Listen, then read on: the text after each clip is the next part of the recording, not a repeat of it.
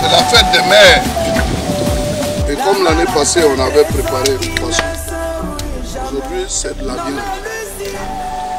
Et mon jeune frère Vremen, qui avait suivi aujourd'hui, il est heureux et fier d'être à mes côtés. Ce que nous préparons ici, nous allons partir tout à l'heure de l'autre côté pour leur remettre cela. Voilà. Félicitations, monsieur le ministre d'État. Je suis, je dirais, très content d'être euh, avec euh, mon aîné. Euh, Au-delà des combats politiques qu'on a pu mener, il nous montre quotidiennement son caractère humain. Et je pense que le fait de le côtoyer, j'apprends à le connaître. Et je suis même étonné qu'il n'y ait pas beaucoup plus de personnes qui essaieraient de le côtoyer. Il serait bon que certains y pensent, pour ceux qui sont encore loin. Et félicitations à lui.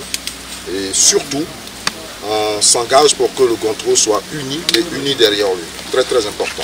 Je- Aujourd'hui, là, nous avons préparé de l'autre côté. Maintenant, il est l'heure de remettre les plats aux femmes, à nos mamans.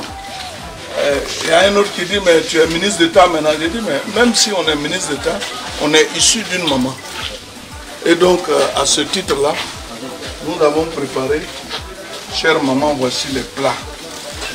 Vous allez les déguster aujourd'hui, vous ne devez pas travailler. C'est nous les hommes qui devons travailler. C'est pas ça? Vous êtes à l'honneur. Donc, euh, on a préparé les mamans. Voilà, on a préparé. Étaient au Je voudrais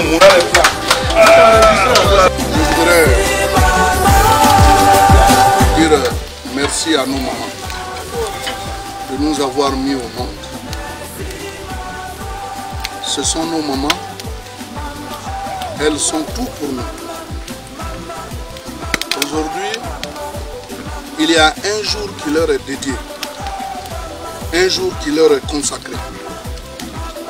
Et nous sommes ici pour leur dire merci.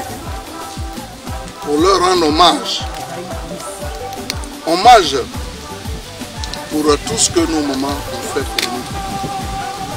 Depuis qu'elles nous ont portés dans leur ventre jusqu'à ce que nous devenions ce que nous sommes aujourd'hui.